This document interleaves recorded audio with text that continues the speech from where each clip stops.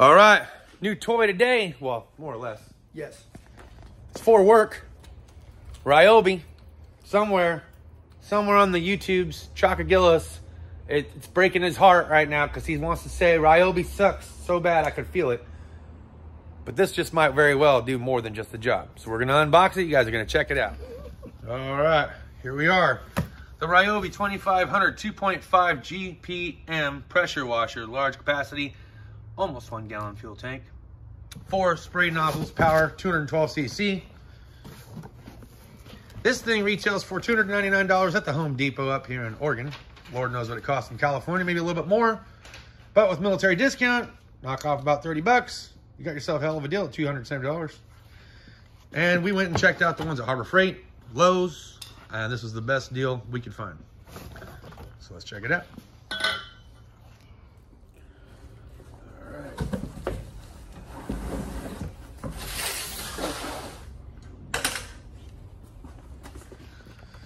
All right. Panoramic view. Comes with a choke.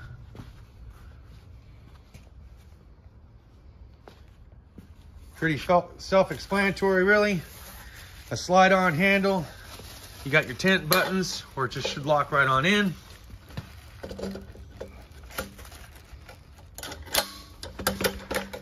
Dunzos. They give you this adapter, some hardware, nozzles, feeder hose for soap, engine lubricant. Not exactly sure how long the hose is, but looks like it's fairly long. The Wanda and the nozzle. This will just bolt on just like that. And then we'll put the tips and everything else in. Phillips heads on this side, 10 millimeter hex on the back. That'll all get tightened up. Here is your pump quick start guide, engine start guide.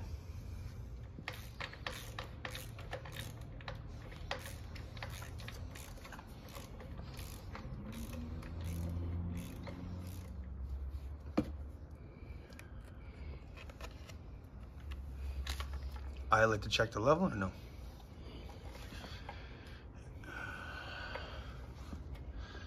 Right behind the tire, it's kind of a, Hard to see.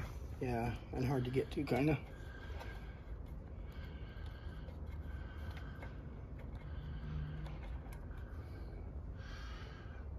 Uh-huh. Nice. So a little bit more. Yep. All of it. They sent the right amount. Came with a little paper file.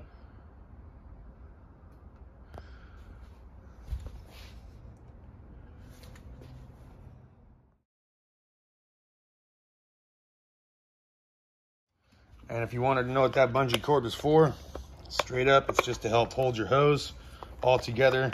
And that way it's easy cleanup, easy put away. You don't have to worry about hose getting tangled or untangled everywhere in the back of your work truck, shop, etc.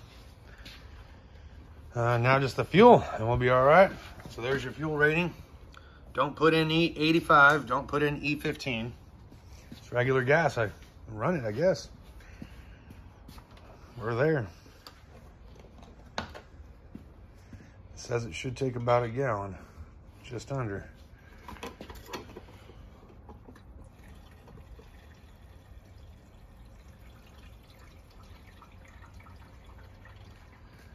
All right, and this here should be the hose that you use. For soap. Soap. Wonder where you'd put the bottle, just leave it on the ground, huh? Leave it on the ground and send it. Here's the cap for that. There's no real place to put this. Like that kind of. Probably make an apparatus and zip tie it to the side or something. Kind of like we did with the other one. Or he did with the other one, I should say. I just seen it. You want half choke? Uh, probably full choke. Full choke? Is there a bubble? Closed, open, start. Oh. Probably want that open for the fuel. Yep. And then full, it's like, yeah, Mhm. full choke. Okay. Okay, we can't run it very long because we don't have water hooked up to it. Right? So You just want to make sure it fires. Then we can take it over to the hose and Let's try it out. try it out. On and off button. On. Okay, turn switch on.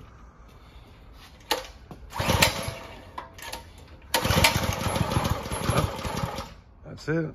That's all she'll need now.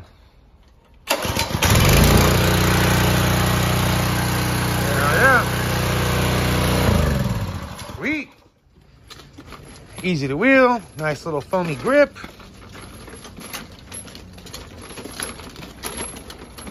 All right, so which does each nozzle do now? Uh, concrete, brick, and masonry is uh, a 20. Any of these will work. The blue nozzle is for soap for any of them. And as the chart reads, for each item. So for lawn and equipment, the white nozzle will not work. And for fencing, siding, and concrete, you can use the white. For just concrete and brick, you can use the green. I'm not even really sure what the red one's for because it looks like you can't use it for anything. It just says nothing. It's a solid, hard stream. Okay. So like digging a hole in the ground. Uh, okay. That makes sense. And then you just shovel it out.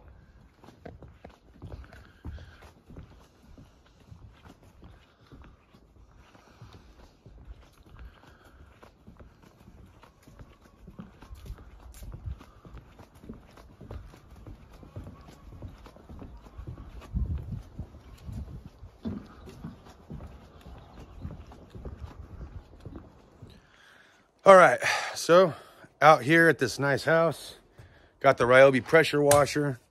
The job and task for today, first time use, but gonna be spraying and pressure washing the whole railing going all the way around, inside, outside, get all the tree moss and stuff off. Try not to take any of the paint off, and then we'll wait about a day, half day for it to dry, come back and we'll repaint it.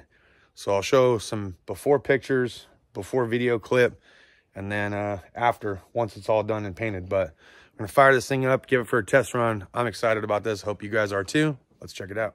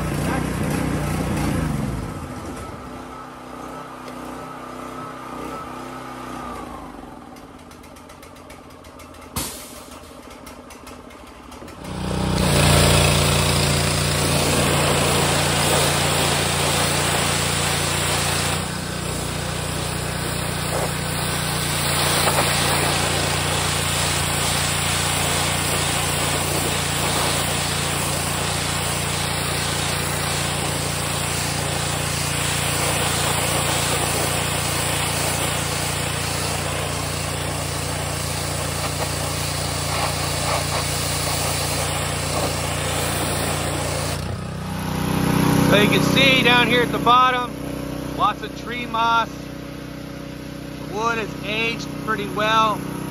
This was stained at one point. We're gonna try to go over it and paint it later. But now look at the difference. And what a difference it makes. Down here at the base, got a lot of tree moss as well.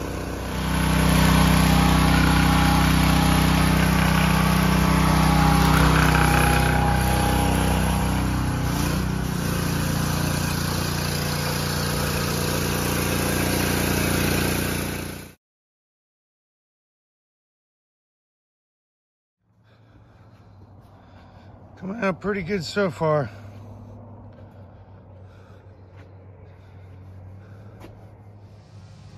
All right, now we're on to the fun part. And I mean, it should be really fun because it's kind of cool. We're gonna start hitting all the tree moss from these bricks.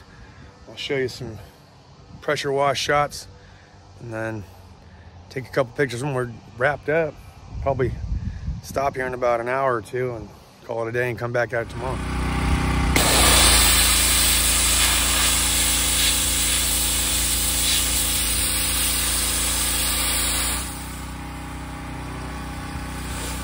Come on, where's the water?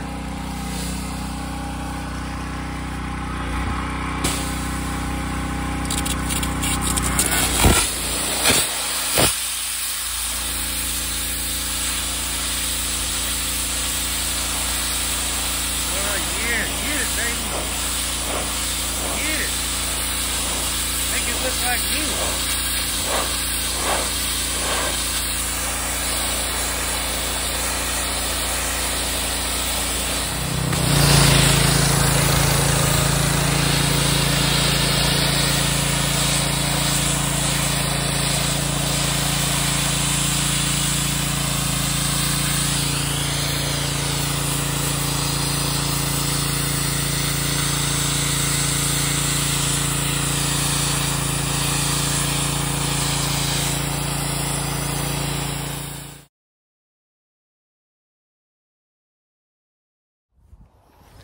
Well, almost to a finishing point as far as the pressure wash goes. But I'm gonna show you, this thing came out looking good.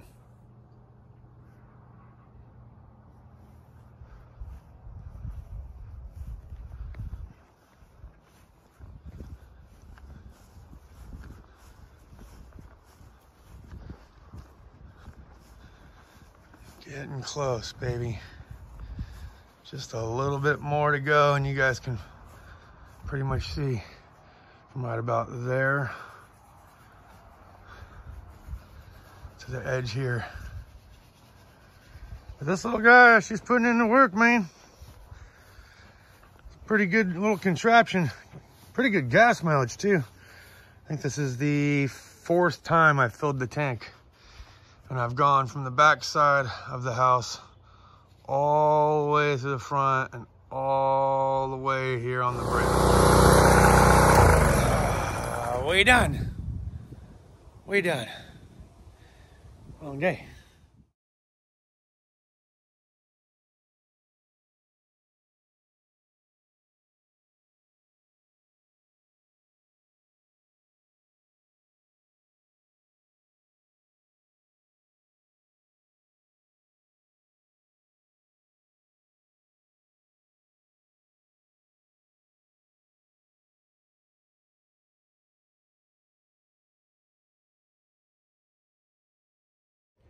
All right, so that is our unboxing slash review. I mean, that wasn't a full review. Obviously, we haven't owned it for a long period of time. We just bought it. But at least you guys got to check it out. I give it a thumbs up. Yeah, 100% thumbs up. Yep. All right, so that's all we got. Hope you guys enjoyed today's content. See you next time.